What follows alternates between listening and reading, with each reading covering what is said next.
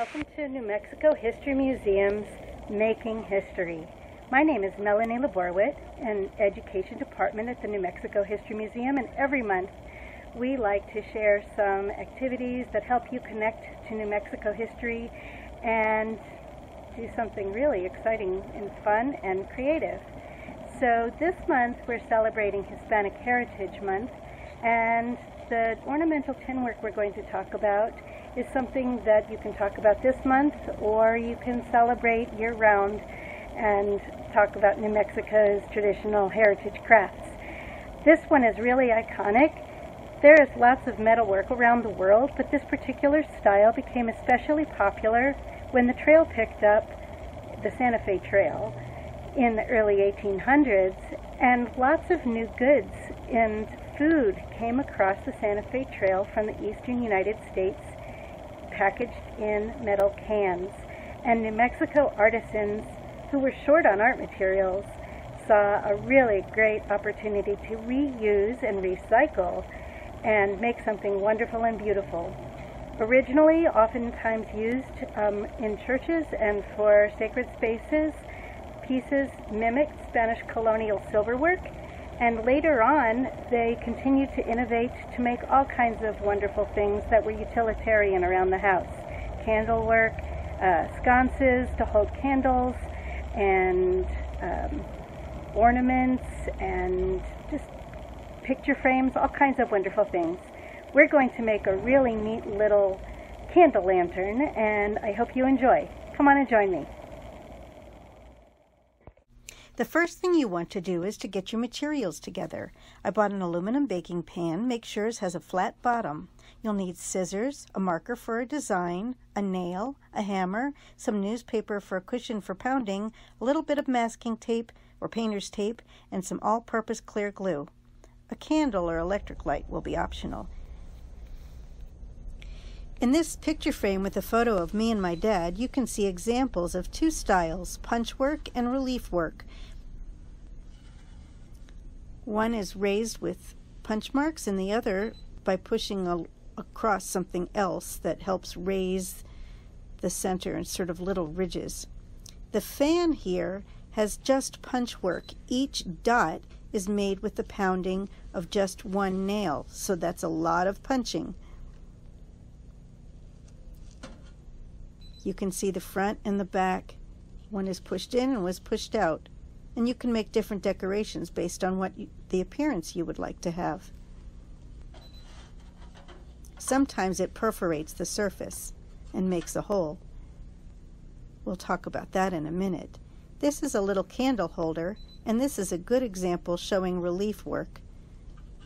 You can see how it was recycled from an old can some of the marks from the can, but then you can see the relief work and how a line is pushed down the sides.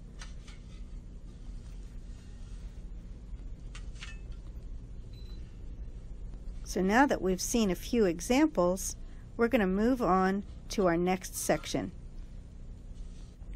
Here's what we're going to make. A little candle lantern. You can put a little light inside and you can see the punch work and the perforation that's going to be put on the surface to wrap around a little glass. And there you are. Fold and fold and fold some newspaper into a thick bundle and tape the edges to hold the shape.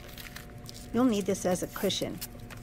Then measure your glass against the foil baking pan and mark the length to cut. Using regular scissors, you can cut the foil and then you're going to trim the edges. Make sure it fits and then you're going to tape the foil strip to the newspaper bundle. Have your marker ready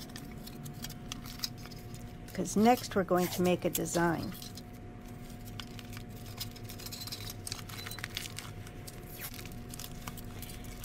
Almost any geometric pattern will do for this project. Get a marker and you're going to press right onto the foil. I like repeated coils. Don't worry about the permanent marker. When your project is finished, you can wipe off the color with alcohol very easily. When you are happy with your design, you are ready to start the punch work.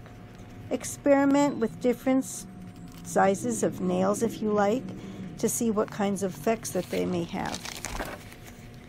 Now that you're ready, you're going to have to have your hammer handy and your nails and you're going to get ready to start punching. You're going to work on a hard surface like the floor or a sturdy table that you can hammer on. I started out here scoring a little bit and working on some simple designs. You can see where I'm pushing to make a little pattern instead of punching, but I didn't do that too much. Simple designs are best to start with. The more lines in your patterns, the more hammering and pushing around. Think of your pattern like a dot to dot drawing and punch a mark about every quarter inch. Tap the hammer or nail twice for each punch, making sure that you make an impression. This is a lot of hammering, so have fun with it. When you're done, you will remove it from the cushion and you'll decide which is the top of the image or the bottom. Remember, because this is for a candle lantern, you will want to go back and choose which spots or punches that you want to put a hole through. This is to let the candlelight come through and you can see what the effect is when you're finished.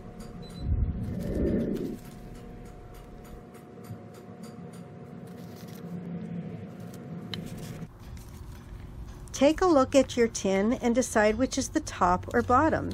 Trim it if it doesn't fit and then you're going to want to take all of the tape off and you're going to reuse it in just a minute. You're going to put it against the glass and tape the edge down to the glass on one side. Once you decided, then you're going to wrap it around, make sure it fits, trim it if it doesn't, and then you're going to get ready to glue. So have your glue handy. Unwrap it again, take out your glue, put some dots all around the glass,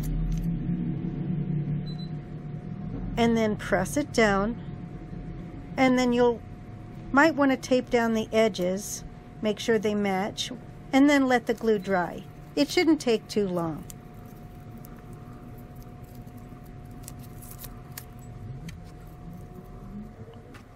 You're just going to Make sure you have it all trimmed down.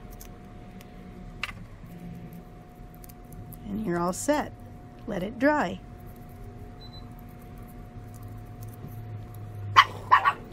You can see where I put the tape over the edge before I let it dry, but you turn it around and you can see what it'll look like when it's done.